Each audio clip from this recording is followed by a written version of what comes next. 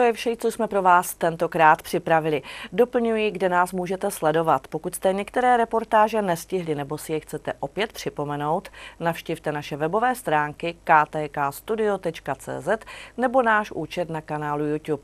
Další informace a aktuality najdete na naší facebookové stránce, Instagramu, Twitterovém účtu a také ve videotextovém vysílání.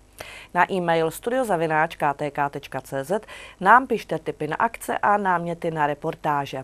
Premiéru dalšího magazínu nabízíme na našem kanálu v pátek 15. února v 16 hodin a já se těším opět příště na viděnou.